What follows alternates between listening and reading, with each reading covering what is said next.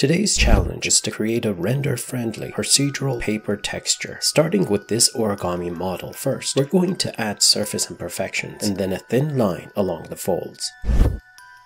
Head over to the shading workspace, create a material and give it a proper name. We don't need all the BS that comes along with the principled BSDF shader, so delete it and replace it with the diffuse shader node. Give the paper a nice bright color and turn up the roughness. Now if you don't see any colors, just make sure to switch to preview mode or render mode. So we now have a perfectly flat piece of colored paper, but we want to give it some character by adding imperfections. Let me use the add menu and the search field to bring in a texture coordinate, a noise texture, a mix RGB, a Voronoi texture, and finally a bump node.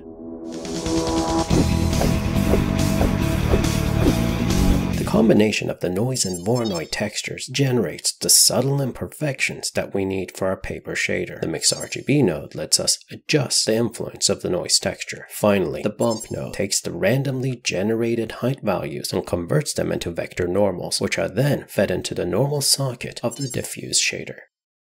Now this next part is amazingly simple, but it will make a big difference. If you look close at this paper origami, you can see that the lighting gives depth to the model, while the imperfections make it look realistic and give it sort of a history. However, what will bring the paper origami to life is the addition of a contrasting color along the folds of the paper. To do this, add an ambient occlusion, a map range, and a mix RGB node.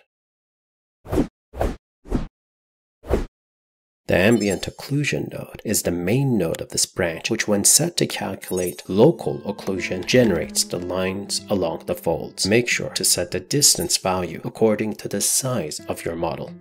Oh, and here's another procedural texture you can use in your awesome models.